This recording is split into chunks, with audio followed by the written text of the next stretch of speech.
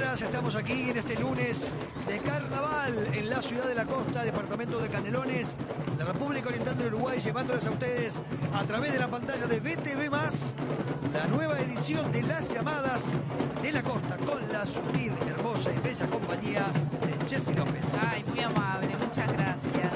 Y ya tenemos